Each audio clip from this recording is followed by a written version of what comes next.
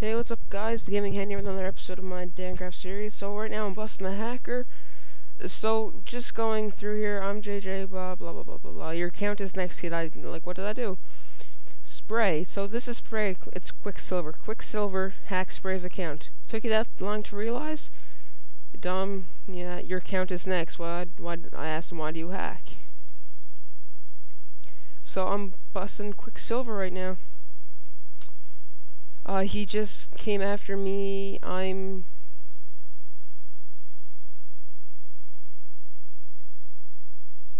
It's Quicksilver.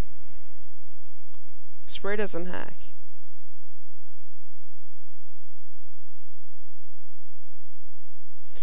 Quicksilver hacked sprays account.